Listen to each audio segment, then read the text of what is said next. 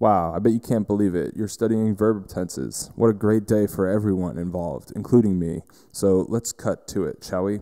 There are three things you need to make sure are good to go if the verb in your sentence is underlined.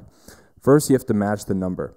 Jack skates. Jack is singular, so we use skates. If it's plural, Jack and Rob skate, or they skate.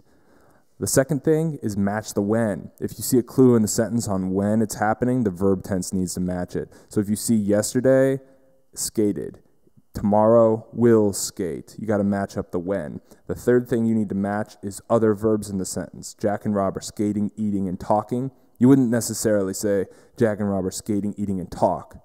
I mean, you could say that, but I mean that just wouldn't reflect good on on your character. People would think people think it's less of you probably, um, but they wouldn't say it to your face, of course.